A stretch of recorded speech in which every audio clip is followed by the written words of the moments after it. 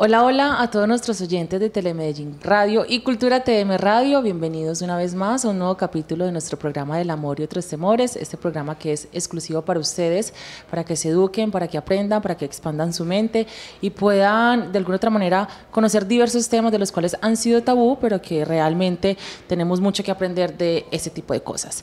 El programa de hoy es demasiado especial porque estamos en junio, el mes de la diversidad, el mes donde resaltamos esa lucha histórica de la población LGTBIQ+, por defender los derechos humanos, no solo de nosotros mismos como población, sino del mundo en general, porque odiamos las injusticias, odiamos las cosas que realmente le hacen daño a los demás sin importar tu sexualidad.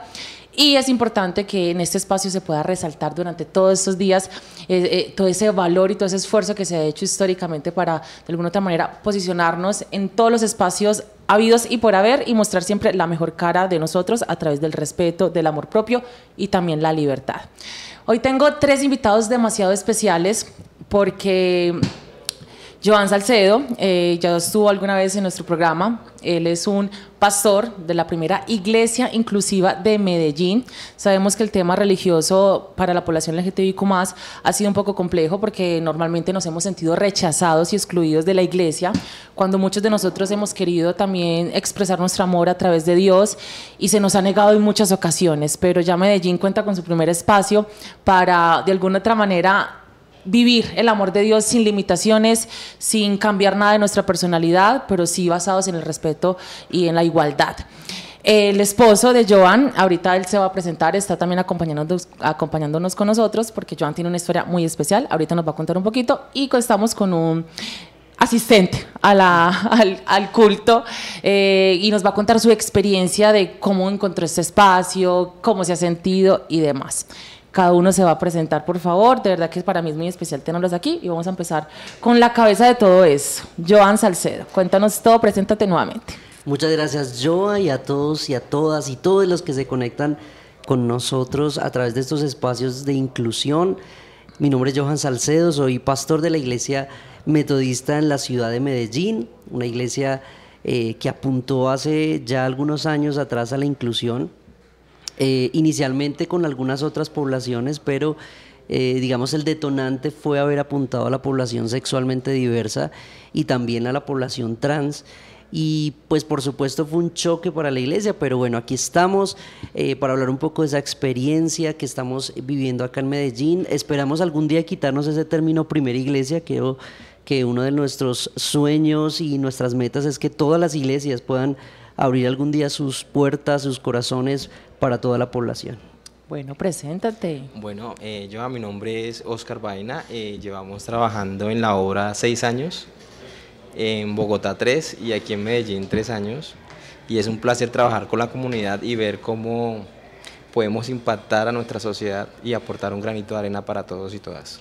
Bueno, preséntate. Hola, bueno, buenas tardes.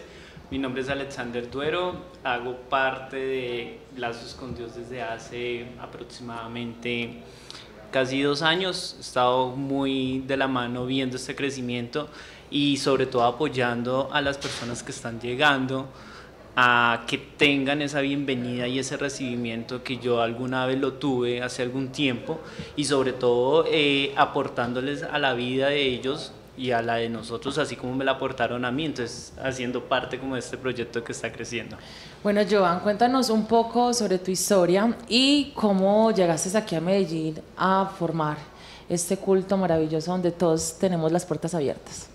Claro que sí, Joan, mira, inicialmente no veníamos para Medellín, íbamos para la ciudad de Cali a hacer este sueño de abrir por primera vez un, un lugar de reconciliación ¿Y por qué le llamamos reconciliación? Porque tú lo decías en tu presentación, la mayoría de los chicos y chicas eh, sexualmente diversos, de cada personita que ha querido tener un acercamiento con Dios, pues se han encontrado con una barrera enorme y es que venga pero no diga, o puedes asistir a nuestra iglesia pero no sea. Y ahí tenemos un problema gigante porque entonces eres por, por tus características eh, que me benefician, es decir, si haces entonces en la iglesia lo vemos, eh, si haces bien el aseo, si haces decoras muy bien o cualquier otra función, excelente, pero no digas que eres gay, no digas que eres trans, no digas que eres lesbiana. y mucho más hoy en día que vivimos en una tendencia donde por lo menos vemos personas no binarias y, y otros términos o tendencias que a veces las personas también desconocen y si lo desconocen en lo social, imagínate en lo eclesial. Es complejo, pero mm, parte de nuestra tarea y función ha sido que cada personita que llega a nuestra comunidad de fe pueda aceptarse, pueda amarse y que sepa sobre todo que Dios la ha creado así como es, tal cual como es y que la ama tal cual como es. Lo impresionante de todo esto es que cada persona que aportó a que la inclusión fuera una realidad en la iglesia fueron personas eh, cis o personas heteros que aportaron a a un conocimiento amplio bíblico, teológico, etimológico, donde concluyeron que no hay ningún tipo de condenación bíblicamente hablando hacia la población sexualmente diversa, que por lo contrario existe es un problema eterno y catastrófico de traducción como de interpretación. Entonces, cuando encontraron como todo esto, un concilio mundial donde se determinó que cada persona podía tener un lugar dentro de la casa de Dios, dentro de la mesa del Señor. Y, eso ha hecho que toda la iglesia en general, desde las iglesias católicas o algunas corrientes protestantes históricas, tomen la decisión de abrir sus puertas a toda la población, específicamente a la, población sexualmente diversa y trans. Bueno, ¿me recuerdas su nombre? Qué Oscar. Oscar. Cuéntanos cómo fue también encontrarte con este hombre que se le nota que le encanta replicar el amor a través de la palabra de Dios. ¿Cómo fue conocerlo? ¿Cómo fue encontrarte con él? ¿En qué circunstancias estaba? ¿Cómo unirte también, tu vida, unirla a él? Eh, sí, yo. Eh, cuando yo lo conozco a él, eh, no sabía que él era un pastor de una iglesia y en ese momento era de una iglesia muy conservadora cuando nos conocimos. Es una historia muy, muy dura de contar, porque fue salir para él del closet, como se dice en muchos términos. Y nada, eh, nos conocimos, afrentamos la sociedad en la que él se encontraba y fue algo muy lindo. Yo no asistía a ninguna iglesia, no, me, no, no estaba en ninguna denominación en el momento y me enamoro, él me comienza a mostrar eh, cosas de la iglesia. Que le mostró, diga la verdad. y conocimos al pastor John Botía en la ciudad de Bogotá y comenzamos a asistir a esa iglesia que era también inclusiva y el pastor también diverso. Y él nos comenzó a mostrar el camino y aquí estamos en Medellín haciendo la obra realidad, la verdad. ¿Feliz? Muy feliz, muy feliz. ¿Cómo has sentido ese poder energético de cuando uno menciona a Dios? Porque es que para mí Dios significa todo lo que uno quiere bueno para su vida, sea desde, en cualquier tema. Pero ¿cómo ha sido para ti? O, siempre has sido, pues dijiste que no eras religioso, que casi no eras religioso, pero entonces ¿cómo fue empezar a descubrir de que también te gustaba y que, y que, realmente querías tomar ese camino? Pues realmente yo veía la iglesia diferente. Eh, sí conocía de ciertas iglesias, pero siempre era como de afuera hacia adentro, hablando de lo económico. Y me, conozco la iglesia de Bogotá donde era de adentro hacia afuera, donde la iglesia sí ayuda realmente a las personas a encontrarse con Dios y en lo económico, ver también personas que estaban en la calle y sacarlas, venga, que aquí vamos a, vamos a salir adelante juntos y juntas. Eso fue lo que me enamora de la iglesia. Entonces veo la cara de Dios en ese momento cuando veo personas que están sufriendo y llegan a nuestra casa y ven el mundo diferente. Entonces eso me enamora mucho más de Dios. ¿Me recuerdas su nombre? Alexander. Soy mala para los nombres. Alexander, quiero que me cuentes cómo fue antes de conocer esta iglesia, porque me imagino que si ahora te gusta y sientes esa vocación de, de asistir, de expresar tu amor a través de la palabra de Dios, pero ¿cómo fue quizás tu búsqueda antes de llegar a esta? ¿Con qué te encontraste? Bueno, pues no, lo que pasa es que yo vengo de, de, la católica y la cristiana conservadora. Son dos iglesias, me pasaron, pues desde pequeño, pues uno tiene sus preferencias, sus gustos, uno sabe a qué le apunta y todo. Y pues en la católica tuve una muy mala experiencia porque apenas se dieron cuenta como que ah, de la manera de todo, pum, sáquelo o lo tildaban o comenzaban a molestar. Entonces pues obviamente ya ahí no, esto no es lo mío, entonces me voy para la, la cristiana porque ya Dios. Pero entonces lo primero que le dicen era lo que decía ahora Johan, eh, Pastor Johan, esto, no, si usted va a estar aquí tiene que portarse bien, se viste como hombre, nada de pantaloneticas, eh, corbatas, se corta el pelo como un hombre, habla como un hombre. Y lo más duro es que se lo dicen a uno así de uno, o sea, esa, es la, bienvenida. Esa es la bienvenida. Esa es la bienvenida, entonces, y uy, no, eso fue fueron dos, tres años torturosos porque eso uno no podía estar en un servicio porque a toda hora era expulsándole el espíritu de la homosexualidad y ay, que venga que está, que manifestado y todo y no, o sea, llegué a un punto en que ya choqué con muchas cosas y me doy cuenta y ya estando inmerso porque pues, em, pues yo noté, yo dije, ah, no, me ayudaron, ahora soy hétero, ah,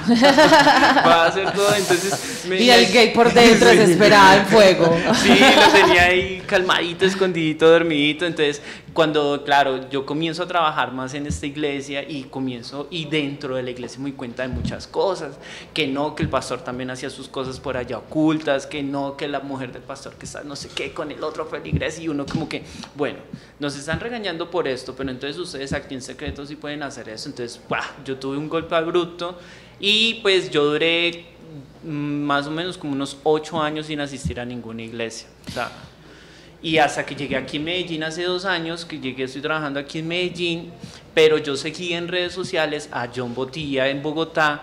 Eh, yo decía, bueno, pero este tipo gay, que, y tiene su esposo, y que, que, pastor, y que no, eso se puede, no se puede.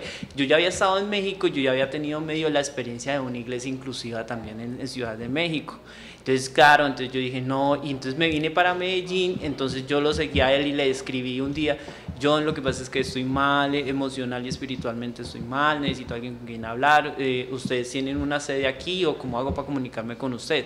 Me mandaron el número de aquí de la iglesia, uy, no, era, éramos como unas 10, 12 personitas, nomás estábamos ahí el núcleo, pero lo que me da, a este punto, lo que me encanta es que eh, lo que teníamos en común todos los que estábamos ahí era que habíamos sido rechazados de otras iglesias y que hasta rechazados de nuestras propias familias y núcleos familiares, entonces estábamos prácticamente solos y entre todos comenzamos a trabajar. Johan con su sabiduría y Dios lo ha respaldado bastante, nos ha enseñado que Dios nos ama a todos por igual, sin importar qué le gusta o qué no. Lo único es importante es que sepamos que Dios nos ama y nosotros también querer a nuestro prójimo, a cualquiera que esté al lado y en lo que podamos ayudar es eso. Entonces eso me encantó. Y no, sobre todo, sí, sobre todo ese, ese sector, porque ya lo otro es que cuando yo llegué a la iglesia, a mí se me hizo muy raro, oiga, llegué a una iglesia cristiana y no me pidieron plata. Ay, que, que no hay que diezmar, no hay que dar ofrenda. No, y ya después comenzamos, entonces no tuvieron que necesidad esta iglesia y todos nosotros no, y no tuvimos necesidad ni tuvieron necesidades de decirnos tiene que diezmar para que Dios haga sus cosas en su vida. No. Dios nos dio todas las cosas y nosotros en agradecimiento, porque no solo yo, sino todo el grupo que conformamos la iglesia, somos muy agradecidos y en lo que podamos ayudar, ayudamos al otro, al prójimo, así no lo conozcamos, le ayudamos y aportamos muchas de esas cosas y estamos creciendo. Ya hoy es más de de lo que era hace dos años, no, ya como el 500% más. Bueno, y es importante aclarar que este tema para muchos es muy polémico, porque sabemos que la religión históricamente ha controlado la vida casi que de todos a través de una palabra que para muchos puede ser falsa, para otros puede ser muy real, pero que al fin y al cabo siempre nos hacen, nos hace sentir limitados para ser libres de lo que nosotros verdaderamente queremos expresar.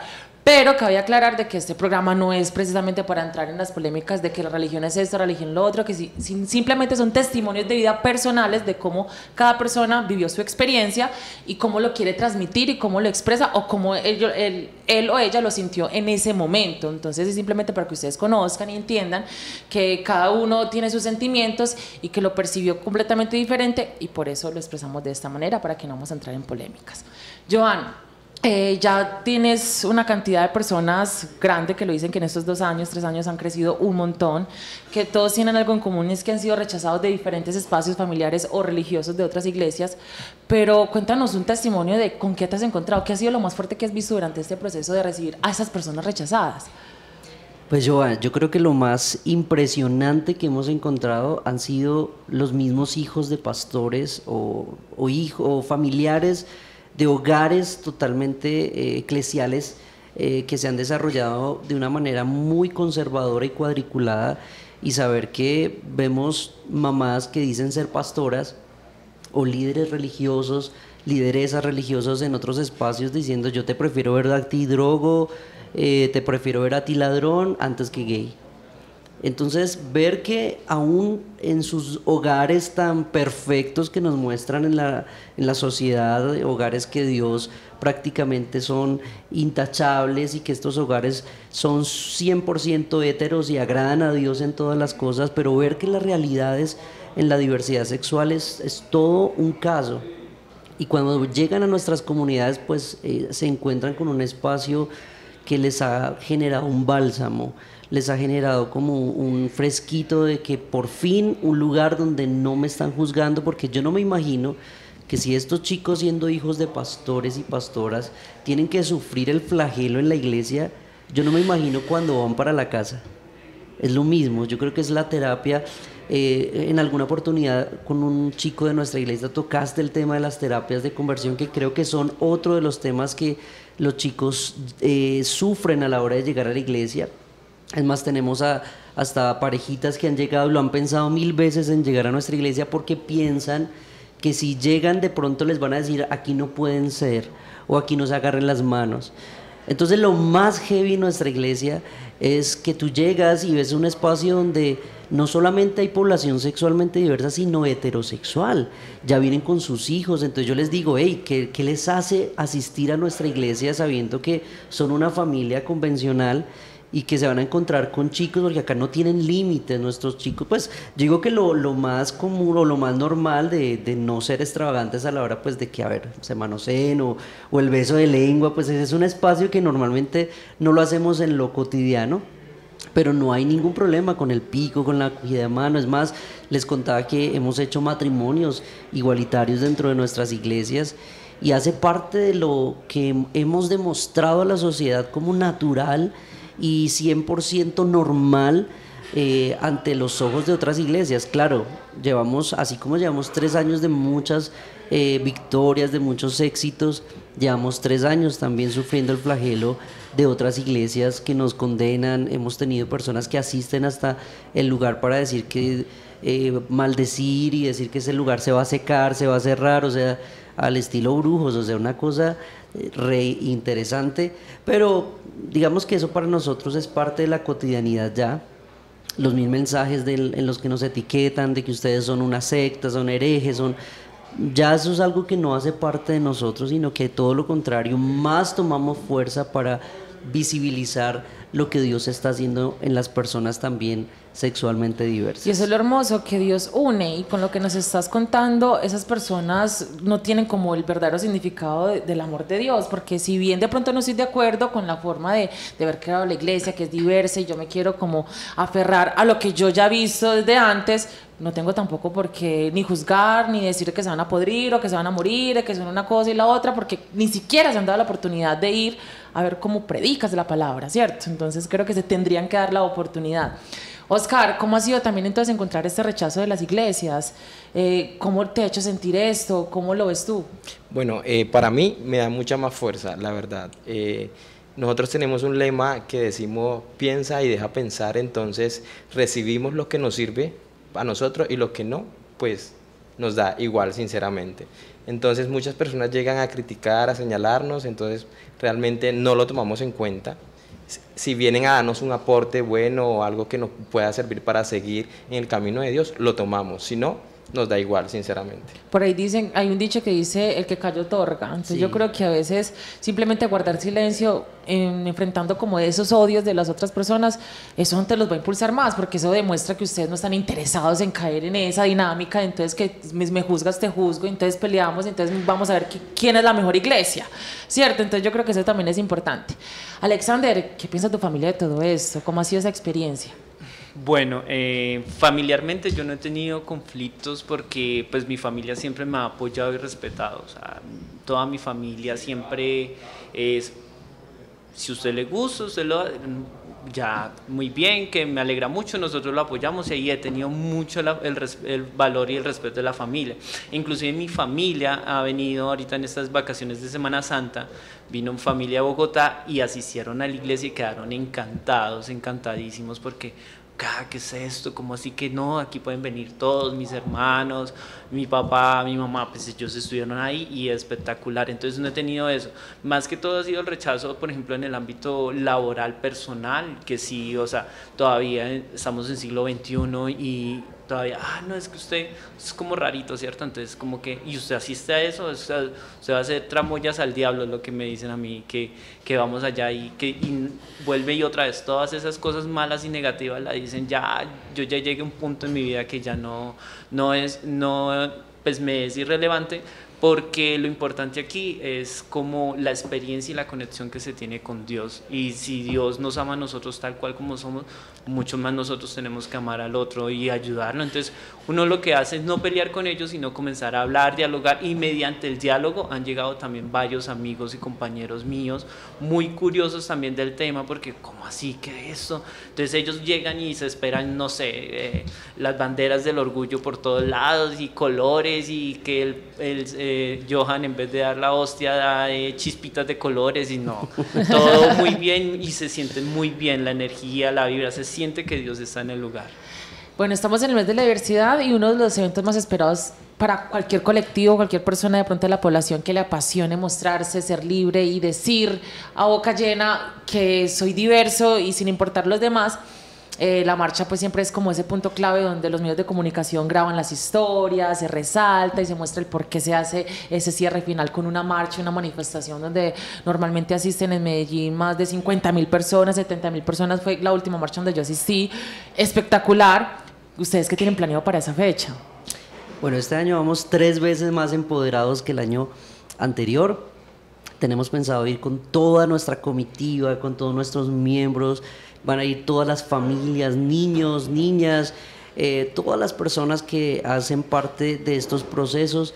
Vamos a estar allí llevando un mensaje de esperanza, un mensaje de amor, un mensaje sobre todo de reconciliación para las personas que creen que Dios les odia o que Dios va a enviar un rayo y les va a consumir. No, todo lo contrario, creo que eh, estamos en ese lugar, en estos espacios, muy convencidos, convencidas de que Dios está en medio de nosotros, que ama a todas las personas porque Él mismo nos creó. Dios no tiene género, o sea, Dios no es macho, no es hembra, Dios es Dios y en medio de esa diversidad mm, podemos eh, afirmar que todos hemos sido creados a esa imagen de Dios diversa.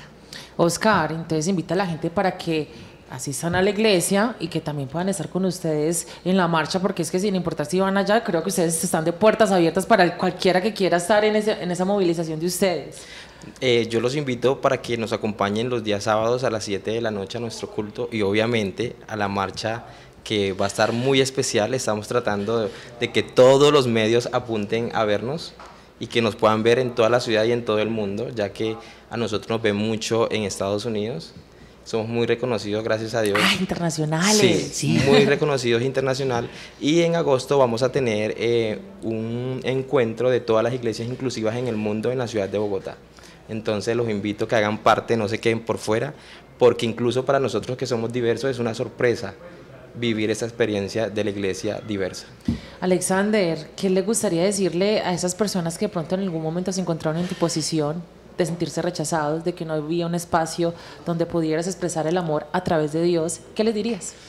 Bueno, eh, este mensaje va para dos tipos de personas. Las primeras personas son las que han sido rechazadas en algún momento que los invitamos a que nos den la oportunidad y el espacio, pero no solo a nosotros que nos dé esa oportunidad de espacio, sino con Dios vuelvan a reconectar con Él, que Él está, en realidad Él está, Él está vivo y su palabra, o sea, si algo necesita el ser humano es esa parte espiritual y reavivarle y todo eso, entonces que nos dé esa oportunidad de mostrarle que Dios está en todas partes y nos ama tal cual como, somos. Y, y el otro mensaje es para la otra población, esas esos padres, esas madres de familia, eh, ese círculo familiar que de pronto descubrieron o que acaban de descubrir que tienen una persona eh, sexualmente diversa, que un hijo gay, que una hija lesbiana, que un sobrino, que en vez de juzgarlos, también ellos también son realmente bienvenidos aquí. Todo el mundo tiene dudas y sobre todo las personas cis o las personas heterosexuales tienen muchas dudas.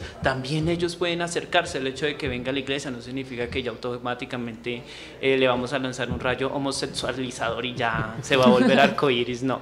Ellos también pueden venir y pueden buscar, eh, tenemos, este fin de semana nos reunimos un equipo de 12 líderes, ya tiene la iglesia, en todos los campos y, cualquiera de nosotros podemos ayudarlos, darle más información, porque es que eso es lo que está matando en realidad, la desinformación y, que, y el desconocimiento, y que se den el placer y se den el gusto de, de, de probar el amor de Dios y el verdadero amor de Dios, que es único e inigualable.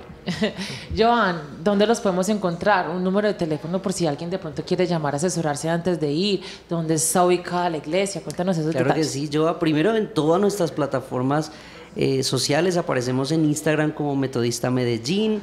En el caso de Facebook aparecemos también como Lazos con Dios Church. En el caso de nuestro teléfono de contacto es 320-351-6617. Es una línea que está siempre abierta para escuchar, es una línea que está siempre dispuesta para atender cualquier novedad o inquietud de estas personas. Estamos muy cerquita de la estación del Metro Floresta. Así que todos los sábados, pues en la semana tenemos diferentes reuniones, pero los sábados es nuestra gran eh, concentración, gran reunión que tenemos semanalmente. Bueno, ya lo saben, Dios existe, Dios no está muerto, Dios está en nuestras vidas, no nos juzga, nos ama tal cual como somos porque así nos creó. Yo creo que lo importante sin importar cómo disfrutes tu sexualidad, es verdaderamente no hacerle daño a nadie, no intentar opacar la vida de nadie, antes trata de impulsar a aquellos que de pronto lo necesitan, si de pronto tú espiritualmente estás mucho más fortalecido. Yo soy de las personas que para mí la energía de Dios se encuentra en todo lo lindo, en los animales, en la naturaleza, en los buenos actos, en la buena voluntad que tienes también en, querer impulsar a otros, de pronto si se encuentran en un vacío, de hecho yo incluso trato, trato de practicar mucho eso, no soy psicóloga, pero en mi vida se acercan muchas personas que incluso de forma voluntaria me ven como un, puente para hablar sobre muchos temas porque siempre he mostrado mucha seguridad, hablo de mi cuerpo, de la forma como me expreso totalmente libre y sin pena y creo que eso llama mucho la atención en esas personas que se sienten demasiado bloqueados para expresar sus sentimientos. Ha sido un placer, Joan, Oscar, Alexander, me aprendí los nombres, eh, estar aquí con ustedes. Espero obviamente que mantengan súper informados sobre el encuentro que van a hacer sobre todo estas iglesias me parece demasiado interesante. Vuelvo y repito, no queremos juzgar en absoluto a ningún tipo de religión ni, ni queremos meternos con la iglesia católica ni nada por el estilo, simplemente queremos expresar que a través del amor de Dios sí podemos ser libres. Gracias por estar con nosotros y nos vemos muy pronto en un nuevo capítulo del amor y otros temores.